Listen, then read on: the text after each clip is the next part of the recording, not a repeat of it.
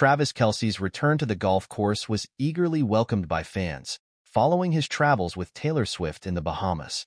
Sporting an orange shirt and white pants paired with a black cap, Kelce joined friends for a round of golf in Cleveland.